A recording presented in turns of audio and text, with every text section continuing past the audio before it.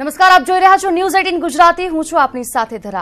મોરબીમાં ખેડૂતોને સિંચાઈ માટે પાણી નહીં મળે. હળવદ બ્રાહ્મણી બે ડેમમાંથી પાણી ન લેવા આદેશ આપવામાં આવ્યો. તો પાણી ન મળવાના આદેશ બાદ ખેડૂતો ચિંતામાં મુકાયા છે.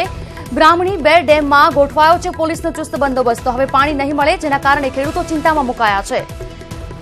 તો બ્રાહ્મણી બે ડેમમાં ખેડૂતોને પાણી નહીં મળે જે મામલે પોલીસ બંદોબસ્ત મૂકવામાં આવ્યો છે. મહત્વનું છે કે મોરબીથી સમગ્ર અહેવાલ સામે આવી રહ્યો છે. હળવદ બ્રાહ્મણી બે ડેમમાંથી પાણી ન લેવા માટે આદેશ આપવામાં આવ્યો છે, જેના કારણે ખેડૂતો હવે ચિંતામાં મુકાયા છે.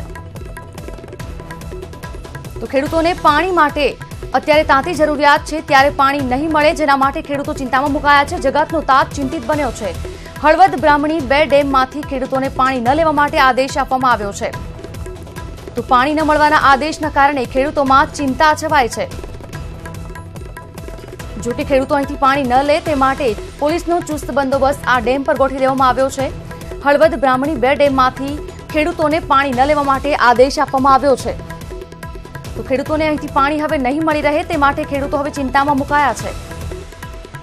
અતુલ જોશી સંવાદદાતા જોડાયા છે. અતુલ, જણાવશો, ખેડૂતોને પાણી નહીં મળે તે માટે ખેડૂતોમાં ચિંતા છવાયેલી છે. પોલીસનો પણ અહીં ચુસ્ત બંદોબસ્ત છે. શું માહિતી સામે આવી રહી છે? અતુલ, જે રીતે સમગ્ર ઘટના સામે આવી છે, બ્રાહ્મણી બે ડેમમાંથી ખેડૂતોને પાણી નહીં મળે અને તે માટે પોલીસ બંદોબસ્ત પણ ગોઠવી દેવામાં આવ્યો છે. શું માહિતી વધારે?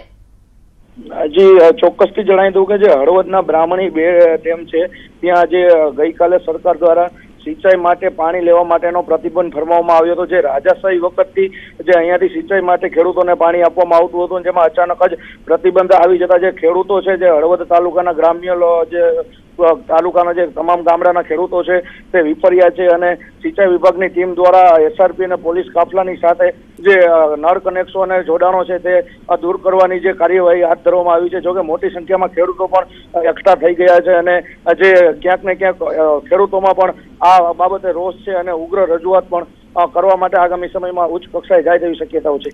જી બિલકુલથી અતુલ આભાર આપનો જાણકારી બદલ.